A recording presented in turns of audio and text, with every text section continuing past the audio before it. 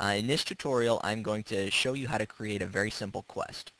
You're going to talk to one character, go buy something from another, go back to the other, to the first character, and turn in the quest.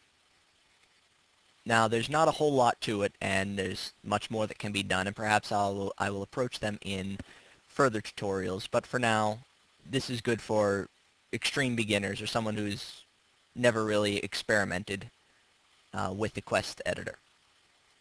The first thing you want to do is create two NPCs.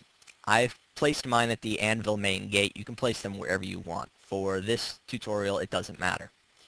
Um, I've created Hank, who's just a hunter who's standing out, and Peter, who is a merchant that doesn't like Hank. The premise of the quest is Hank, well, Peter doesn't like Hank, and Hank only wants to buy arrows from Peter.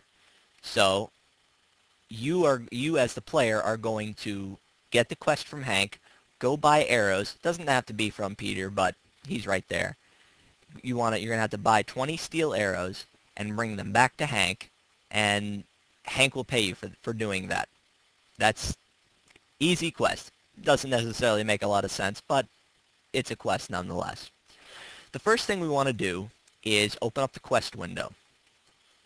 Now, when you have the quest window up, you're going to want to go over and create a new quest over on the left-hand side. Uh, right, just right and new. Uh, name it ABXX Tutorial Quest.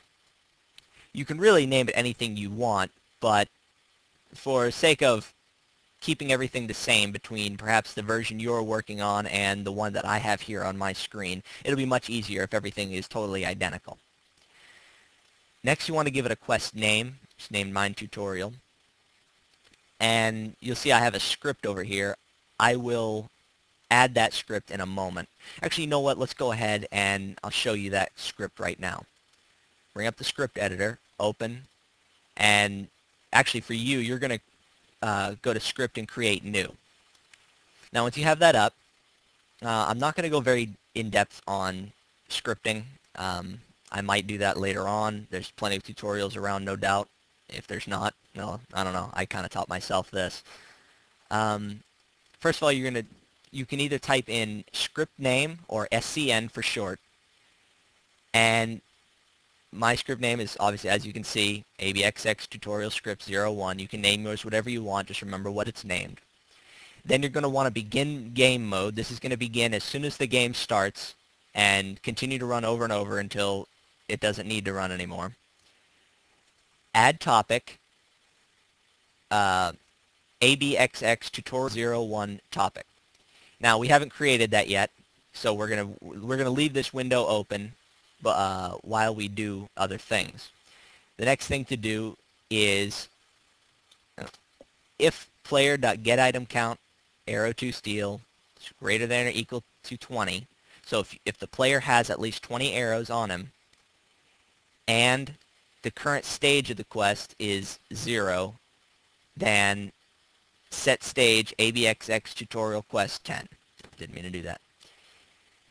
Now, it might not make a lot of sense to you what all these things are right now. Some of the things we haven't created, I know. Actually, I should have waited before I brought this scripting up, but don't worry about it. Then on a new line, type end if, so that closes that if statement. And then on a new line down below, click end, or type end, I should say. That will end the statement we started with begin game mode. Now leave that open in the background because it won't compile or won't save correctly until we finish doing other things and switch back to your quest window. Now the next thing we're going to want to do is go to quest stages. We're going to want to create three indexes, 0, 10, and 20. Go ahead and do that now. After the three have been created by, well, I should have shown you right-click New, you want to add a log entry to 0 right-click on Log Entry and Add New. And this is the first thing. When you first start the quest, this is what will be seen. You can read what I have here on the screen. Type that in or type something similar to that. On index 10, type in you bought the arrows from Peter. And then index 20, you gave the arrows to Hank. And actually, I've changed that. since last time I was in here.